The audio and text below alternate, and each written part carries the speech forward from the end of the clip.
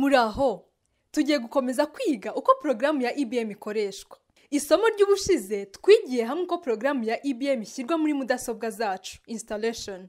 Abenshi mwarakurikiye mubikora neza turabashimira. Uyu munsi tugiye kwigira hamwe uko porogaramu ya ibm ikora iyo umaze kwinjiramo ukuzuza imyirondoro yawe.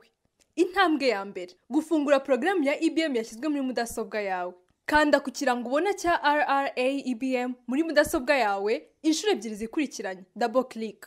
Jya ku kamenyetso ka management module. Urahita ubona uburyo bukugaragariza ko uri muri porogaramu ya ibm logout ni ugusohoka ahanditse a ni aho guhindurira ururimi.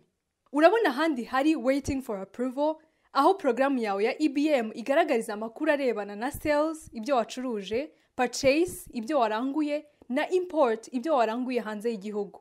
Andika ahabugenewe user id na password hanyuma ukande login. Hari ahanditse environment habanza muri ibm environment ikaba ifitemo user aho ushyiramo abantu cyangwa abakozi bakoresha iyi ibm change password aho uhindurira umubare cyangwa ijambo ry'ibanga abakozi ba rra baba baraguhaye ifungura ibm ahanyuma ni kuri system setting aho uhindurira amakuru aza kuri telefone address n'ibindi. Mureke noneho dusubire kuri user tuyivugeho mu buryo bwimbitse.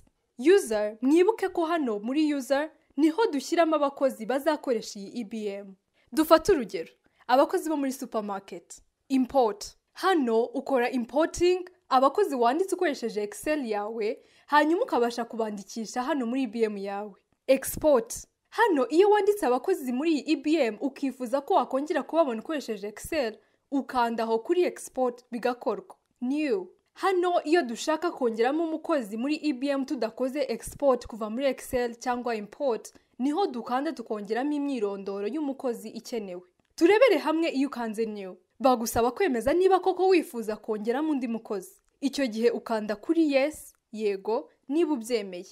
User id indangamuntu y'umukozi username izina ry'umukozi role icyo ashinzwe mu kazi address aho umukozi abarizwa cyangwa atuye password ijambo ry'ibanga azajya akoresha mu kazi phone number nimero ya telefone y'umukozi address aho umukozi atuye imeri ye n'ibindi.